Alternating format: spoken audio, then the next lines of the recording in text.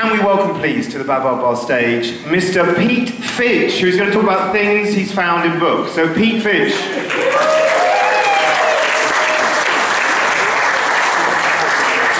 Thank you very much. Um, so, uh, as a quick background, uh, for 20 years I was a second-hand book dealer. Uh, and uh, predominantly dealing in, uh, in paperbacks. I would scour uh, charity shops and car boot sales uh, and find paperbacks, and, uh, and I used to sell them uh, on a stall that I had uh, down by the West Pier uh, in, uh, in Brighton. And when I bought all these books, I would get them home, I would, and I would um, be pricing them up. And often, when I got them home, I'd flick through the pages, and often people would have left something behind, in, tucked in the books. Uh, and at first, uh, I, used to, I used to look at them and then chuck them away, and after a bit, I, I started putting them to one side. Uh, so I'm going to show you uh, a whole selection of, um, of things that I have found in books. Um, and uh, lots and lots of photos that I'm going to show you. Now, when I was a, uh, a kid, uh, my parents, we used to go around to other people's, uh, their friends for supper, and their hearts would, your heart would sink when they said, would you like to look at our slides? And, uh, and you'd then be forced for uh, half an hour to sit and look at a whole load of um, pictures of um, places uh, that you've never been and uh, all the friends uh, that they've got that you've never met. Now, this is going to be much the same. I'm going to show you a whole load of um, pictures of people that you don't know and places that you've never been, but I don't know who the fuck these are either, or I don't know where these places are, so here we go. Uh, so just a whole bunch uh, of people, just um, uh, people's mothers, uh, brothers, um, grandmothers, uh, somebody's girlfriend, somebody's loose boyfriend, a serial killer. No one needs that many nuts. Um, lots and lots of, um, I got lots and lots of old um, passport photos, uh, bad faded passport photos, um, and lots of uh, photos of celebratory moments, um, often out of focus. Uh, I've got uh, possibly the UK's largest collection of uh, out of focus uh, photographs. Um, moments of, of elation here in, in faded, uh, faded fuzzy uh, uh, celebration. Um, pictures of uh, people kind of sort of chopped off in their prime. I've, um, I've got a theory that one of the things is with the photos is the the bad photos, the fuzzy photos, the chopped off photos. This is because this belongs to an era of the of the analog. In the digital world, we no longer have bad photos because we take the bad photo, somebody's eyes are red, the finger, your finger's in the way, you've chopped off their head, you just delete it. But in the old days, you played that game of uh, roulette where you would um, you'd have the film, you'd send it off, uh, and then about two weeks later, the photos would come back through the post. You didn't know what you'd get. You'd open them up. There'd be three or four that you'd put in your photo album, and the rest would get used uh, as bookmarks. Um, I've got a theory that if aliens were to land uh, on Earth and to look at uh, the evolution of human beings, that they would think that uh, from the uh, 1960s, 70s, 80s, we'd actually evolved as, an, as a species very quickly to be able to take good photos because no, bad photos no longer exist, but it's just merely a, um, a symptom of, uh, of technology. Now, a lot of these photos that I have, you kind of, I find myself, um, uh, I enjoy the kind of almost looking at, at the images and you kind of work out kind of some sort of stories. I love this photo uh, just, uh, there's two reasons that I love the photo. The man in the beard is just so happy. He looks uh, so ple pleased there with, the, um, with his tankard uh, there. And also, I particularly enjoy the arm round the shoulder of the gentleman who is looking so incredibly uncomfortable uh, with this uh, show of, uh, show of um, close proximity. Uh, there's lots of photos of, um, of uh, romantic moments, of couples together, a drunken smooch on, a, on a foreign disco floor. Um, uh, here, the couple, uh, uh, you can have a zombie um, cocktail there, I see. Um, this one, uh, and one of those kind of ones where you stick your, your head through. Um, and, and also this picture of a man uh, looking rather grumpy, holding a child uh, next to an elephant, uh, which appears, I don't know whether there's candles on the elephant's head or some sort of um, crown. Now, I, this photo, I looked at that gentleman and, and he seemed strangely familiar. And I bought uh, a book collection uh, from Petworth uh, and it was quite an interesting book collection, and this was uh, when in it was in it, and I was able to then work out there were lots of other bits of paper, and I was able to do uh, a little bit of um, uh, detective work, and uh, I kind of sort of worked out uh, that he was he worked in the media, and then through various bits of paper, eventually worked out who it was. Any we're talking D list. Paul Ross. Number one, yeah, absolutely, got it in one. Paul Ross, Jonathan Ross's brother. Now, um, Paul Ross, um, and so I got this collection from his wife, uh, and they'd obviously split up, and she was just getting rid of the, the whole lot. Uh, so I got all of Paul Ross's uh, book collection. And, uh, and then um, one day, Paul Ross had a, a, radio show on Sussex, BBC Sussex, on a Saturday morning. And, uh, and he was uh, saying, oh, what's the strangest thing you've ever found? So I rang in, and I said, I found a picture of you and holding a child in front of an elephant. Um, uh, sadly, they didn't put me on the uh, on the radio. Uh, some some weird stalker. Uh, this is uh, this is Jim, uh, Doug, and um, got her name here. This is important. D Doris. Um, I know that because it's written on the back of the of the of the photo. And, uh, and with this, I'm always wondering, uh, did Doris, is Doris really with, with Jim or Doug? I kind of, or, and there's part of me that kind of sort of hope, uh, in my mind, you can't help like making up these little stories sometimes when you look at it. I can't help feeling that she came out all uh, glammed up in her, uh, in her um, arm-length uh, gloves. She came out with Jim, but Doug, the, uh, the dapper, um, uh, Terry Thomas lookalike, he kind of moved on in. Um, and, you, and I can't help, uh, with a lot of these uh, ones, you, you kind of enter into this world of other people's lives. Uh, a lot of the photos are of, um, of glamorous places. Um, a lot of uh, postcards that I get. that one from Tenerife. Um, this one is London by Night on the back it said, um, it said, uh, Jim was nearly on TV last night. You could see his arm at Ted Heath's party. um, she also commented about how he got the wrong newspaper, um, but, uh, but luckily it had one pound uh, tokens for holidays to Paris, and she said, I do enjoy his mistakes sometimes. Um, the photos are often uh, exhilarating people in beautiful places. Um, uh, clouds from uh, maybe from an aeroplane, uh, and uh, and sometimes um, slightly less so. Um, this is a picture, just in case you don't know, of a, a, a rather manky staircase. Um, if those of you at the back can't see it very clearly, here's a close-up. there's several photos of it. Now, also within, within these, uh, not just photos, but I also get um, little um, lists and, uh, and written things. This one was in a uh, book um, about how to have a good relationship. Um, you don't have to read the book because it's all been summarised into five points. Loving words, kind actions, quality time, thoughtful prezzies, physical affection. That's good.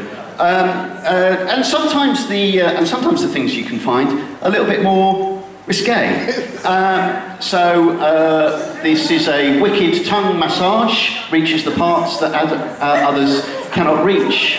Um, uh, you realise that you have reached a certain age in your life when you get a flyer like this and you go, mmm, just down from Noodle Express. I always thought so I calculated how many books, I can't remember off the top of my head how many books must have passed through my hands in the 20 years that I was selling. Probably somewhere in the region of a quarter of a million to, to, to half a million books would have passed through my hands. And you would have thought that in all those books, you would have, I would have found um, banknotes, I would have found money. Only found it once, only found it once. Uh, I found it in this book, uh, I don't know what it was that uh, attracted me to, to this book. Uh, there was a 20 pound note in it. I found the, I found the note actually before I bought it. It was in the, uh, was in the Oxfam bookshop in Portslade. Uh, and, um, and so I, uh, being the good, honest person, I decided to take the money out and I gave it to the people in Oxfam and I thought, I thought I wasn't going to buy the book, I was about to put it back, and then I thought, oh, well, what I'll do is I'll take it home and the, and the gods will, uh, will see me th through and I'll look it up on the internet and it'll be worth like absolutely loads. And I took it home and I looked up on, on the internet and lo and behold, it was worth £1.20. Uh, so I decided to keep this book and the, uh, I, so I've kept this book and all the items that I'm showing you, I keep them in the pages of this book. This is my uh, official receptacle. Um, this I got, uh, this was a get well card, get well at once, open it up, and it says, hey you, you know what to do lady, get on it, it's shit, but you know it'll be alright in the end, we're rooting for you tough cookie, lots of love, Caroline, kiss kiss. we all need a Caroline in our life. When times are bad, I want Caroline on my side, that's exactly uh, what I want. Uh, this next one was a uh, piece of A4 paper, paper um, folded into four to uh, make a card, um, a, a, child's drawing. It was done in um, felt tip, and it says, To Ben, I'm sorry for the argument we had the other day, and sorry for no hugs, from Xanthi. Don't show anyone this, except Ella and Brantley. This one, uh, I was intrigued. Another one that was um, folded into four. A present for the fruit queen. Hmm. We open it up. Pineapple face, banana hair, strawberry eye, lemon brain, papaya vagina, grapefruit belly, melon boob. This one, Dear Julie, sorry for being a shit last night. I've no excuses. I'm sorry. Love Les. P.S. We'll do better.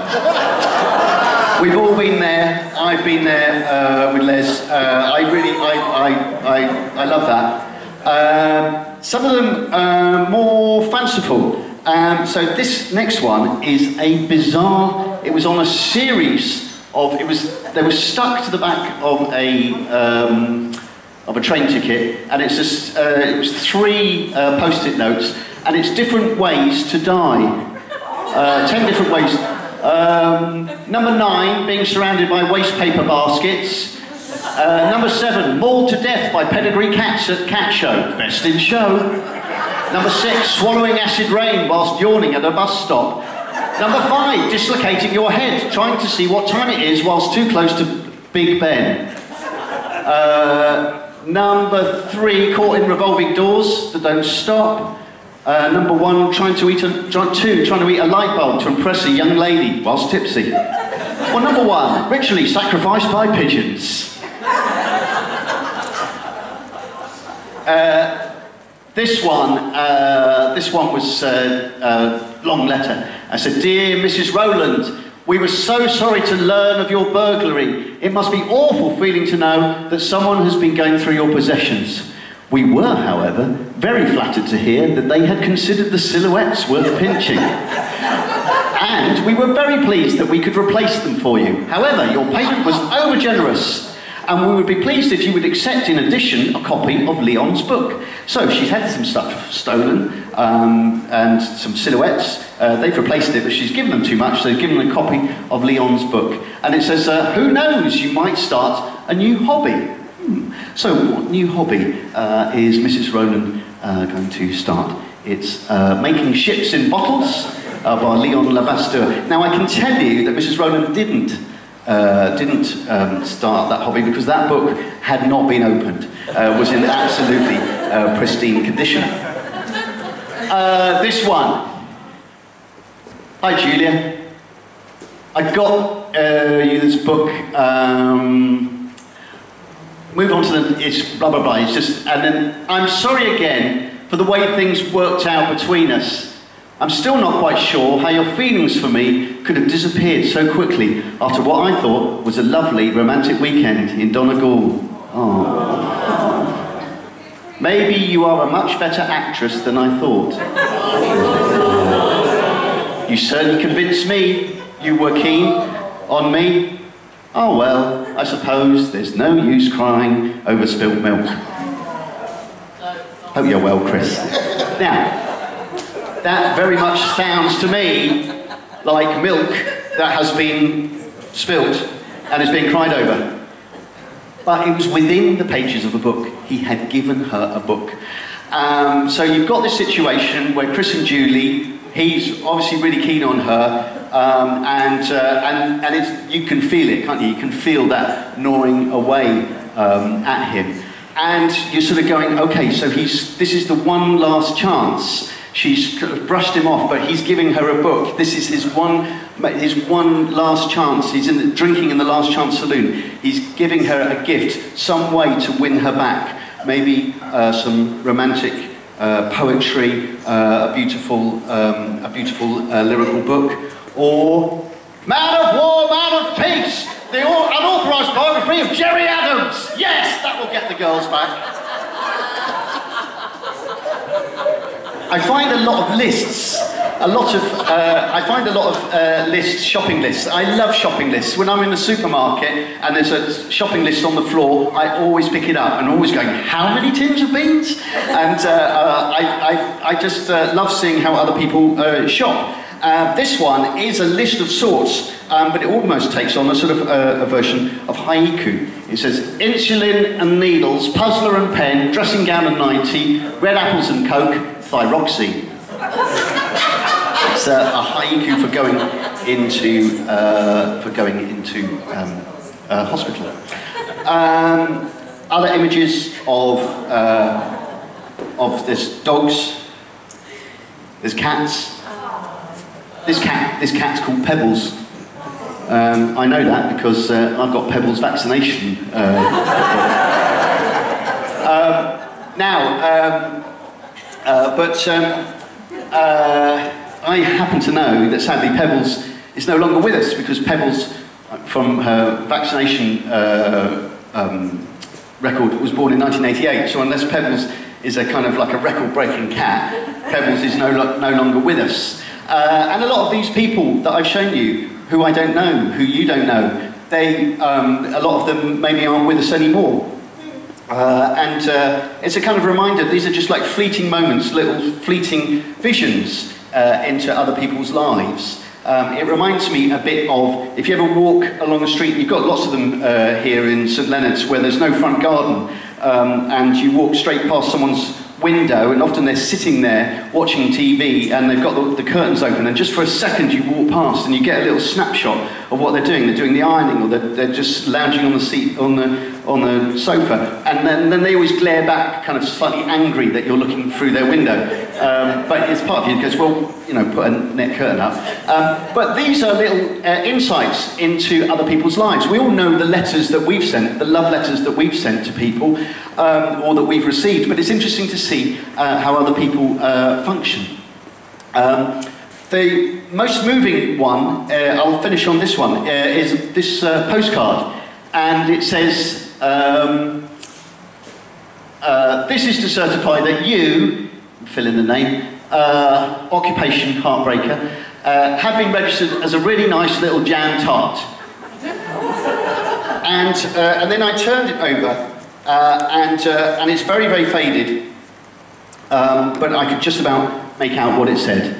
And this is what it said. It said, Dear Fred, just a note to let you know that we've been called up for the front and we leave tomorrow. We'll write soon. Goodly luck. Your brother, John. And it's dated the 17th of February, 1916.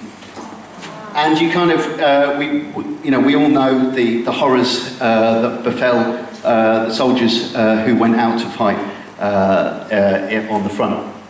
And it's that realization that here I'm holding possibly one of the last things that was ever written by this man. And what I love about that in some ways is also its understatedness, um, the, the, the stiff upper lip, um, and it's almost the, the things that aren't written uh, within that letter, that, in, within that note.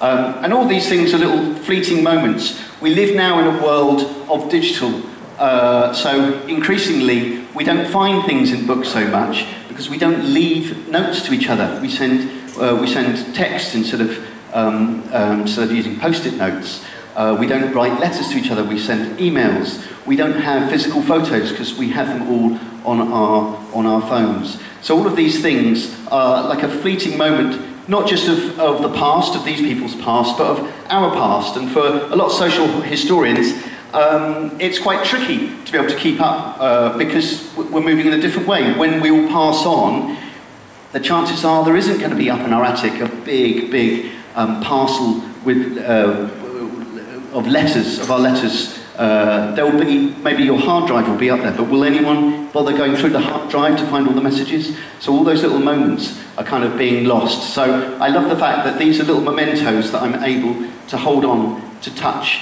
and to hold and to show to you. Thank you very much.